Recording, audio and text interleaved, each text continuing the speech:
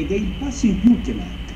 Cioè non si può non avere solidarietà all'interno della comunità europea e per fare questo non si possono appunto abbandonare i paesi come la Grecia, ma insomma troppi, eh, eh, troppo tempo è passato per la discussione sui problemi della Grecia, del Portogallo e via dicendo. E bisogna dare il passo in più, bisogna fare maggiore unità politica e naturalmente politiche di sviluppo. Questo è il punto. Nel frattempo avete visto apparire sul vostro schermo una tabella, è la tabella che fa un raffronto tra i prezzi eh, che avevamo con la lira, i tre filetti qui già, eh, e quelli che invece sono arrivati con l'euro. C'è anche l'olio, Andreadis, anche per quanto riguarda l'Italia, come, come vede. Ma questi erano i prezzi a dieci anni fa. Esatto, eh, sì, dal 2001... Dovremmo sì. comunque agevolarli al 2011. Ecco, ci sono, ci sono le tre ci tabelle. sono, ci sono.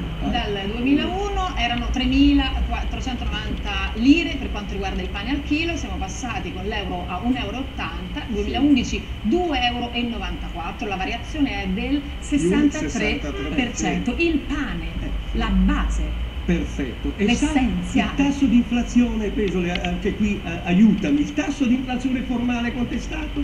Del 21,7%. la differenza tra l'inflazione reale insomma, l'inflazione, eh, ma quello serve poi per le retribuzioni, serve per, una, per il potere d'acquisto delle famiglie a reddito fisso. Quindi quelle sono le percentuali micidiali d'aumento. Insomma, quando una pizza margherita è aumentata del 145%. insomma, Ed eccolo qui il tintinnio della nuova moneta che arriva, che ci dice che ci siamo, ci siamo anche noi nella comunità europea, abbiamo questa moneta unica. c'era un po' di panico, però Esatto, nel volto, nel esatto, volto delle- di quei consumatori si vedeva anche un po' di panico. che non se n'è andato perché Eh. effettivamente torniamo a dirci questa cosa il raffronto dei prezzi parla chiaro cioè la sensazione non è solo una sensazione che si stia eh, vivendo, la pagando il doppio quant'era? Sapete quant'era la benzina? Sotto un euro. Sapete adesso quant'è la benzina? Adesso non lo so. 1,60. È, no- è notizia di È stamattina. notizia di no? stamani. però tre filetti è tutta colpa dell'euro c'è stata, No. la, c'è stata la crisi No, appunto, è colpa degli, degli strumenti, della mancanza di verifiche, della mancanza di controlli, del fatto di non aver fatto una politica economica di un certo tipo. Insomma, l'euro è uno strumento tecnico e, e non, non- non c'entra assolutamente nulla poi con la speculazione. È stato utilizzata la difficoltà di comprensione del cambio, è stato, eh, è stato utilizzato tutto, ma in buona sostanza non si sono fatte le cose che invece bisognava fare. Ha ragione Pesole quando dice meno male che c'è l'euro rispetto ai mutui, rispetto all'acquisto delle materie prime e via dicendo, meno male che c'è, ma sono i comportamenti. Ma è la stessa fatto che noi consumatori non ci siamo opposti a queste cose perché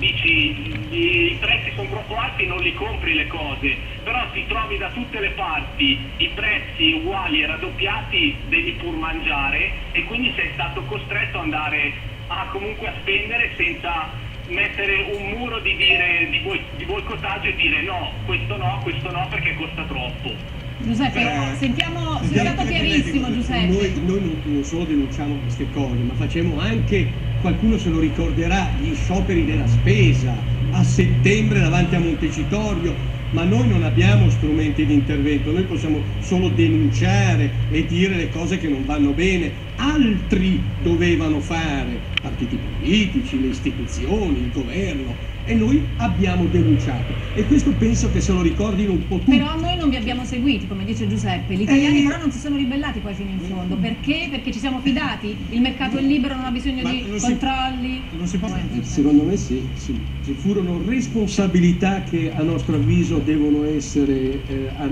a- sottolineate. Facciamo bene a ricordarlo. Facciamo bene a ricordarlo perché, eh, lo ripeto, queste responsabilità sono tutte ricadute poi sui ceti che a reddito fisso essenzialmente. Questa sono rica- quelli che Allora, pagano la crisi tra i- maggiormente. No, Rosario Trefinetti.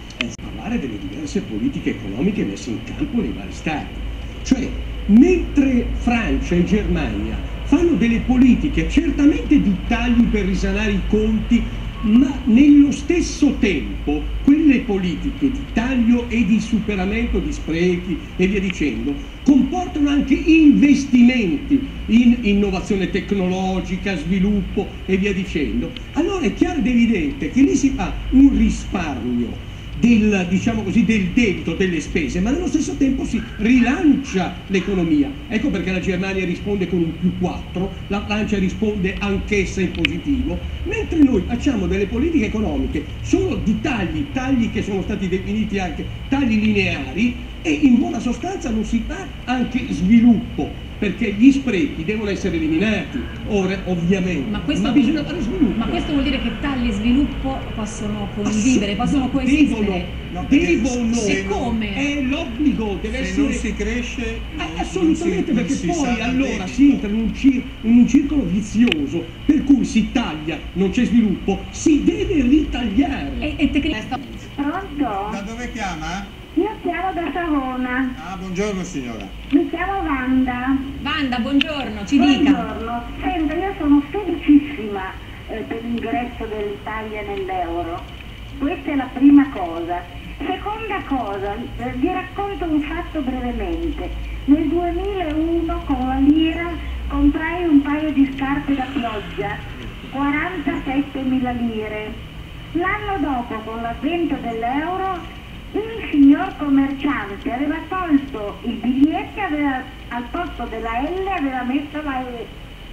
47 euro. Ecco, questo la dice lunga.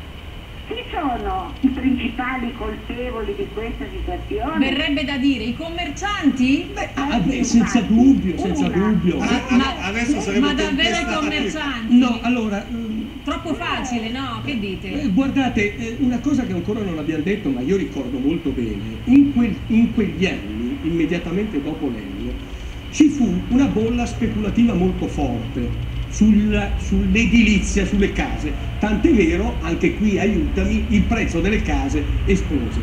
Guardate che ci fu una domanda molto forte da parte di certi centri sociali nell'acquisto degli appartamenti, oltre il, il cosiddetto scudo fiscale, perché ce n'è uno precedente che ritornarono dei capitali in Italia.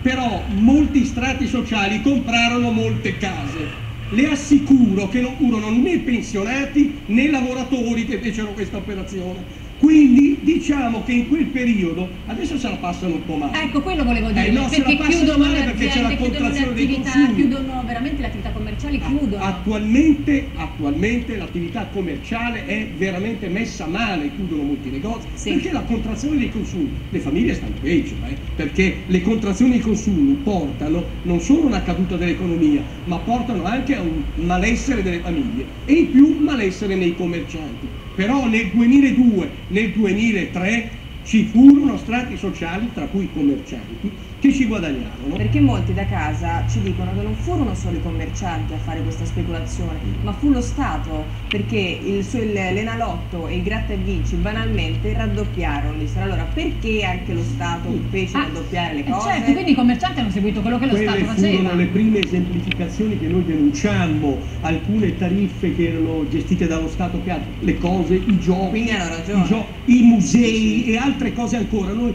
le visure alle camere di commercio, insomma, noi denunciamo, denunciamo a quel tempo che proprio gli esempi negativi venivano anche da chi doveva dare esempio positivo. Ha perfettamente ragione a ricordare queste cose. Vabbè, volevo... No, allora, Cosa diciamo subito che la cosa può essere anche divertente, folcloristica, che ha- però ci sono due rischi. Primo, di continuare a ragionare con la lira e non con l'euro e questo è fonte di raggiro nei cittadini. Bisogna dimenticarsi la lira, perché altrimenti si corrono rischi di pagare di più e quindi eh, capisco la cosa è simpatica, lo ripeto, eccetera. Però, prima cosa, cambiare mentalità, non parlare più di lira. Due, due. Eh, la, la questione è che attenti, ci sono delle scadenze, non vorremmo che quei soldini che lei prima diceva, e beh, poi a un certo punto decadono. Eh. Il Se- 28 se ri- febbraio se ricordo a memoria, 2012 esatto, diventano febbraio carta 2012. straccia. Ecco, molti soldini scompaiono.